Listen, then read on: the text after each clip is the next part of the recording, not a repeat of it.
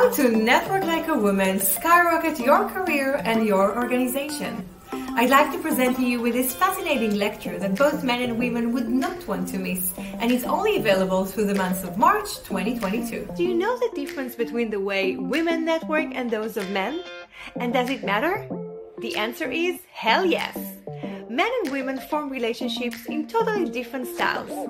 Men do get more out of their networks, however, ultimately, women have greater power to achieve the most results out of the network because of the unique way they form their relationships.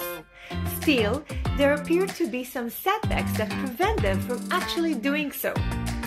Therefore, on this Women Month, I'd like to show men and women the strengths and challenges of female networking style and how to overcome those to be able to skyrocket your career, your organization, and life through the power of authentic relationship building.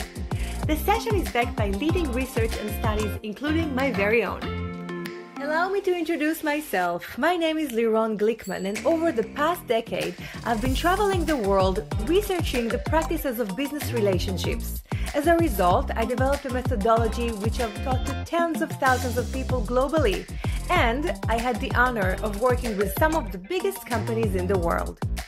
In this session, you will learn the differences between women networking to men's networking how can women leverage their networking style towards achieving their best results?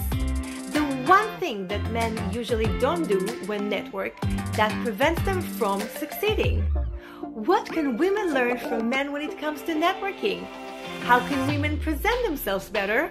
And immediate actions you can take to increase your networking results.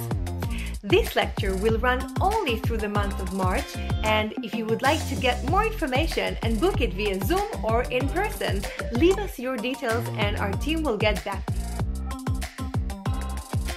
Wishing you all a happy networking and a wonderful Women's Month. See you soon.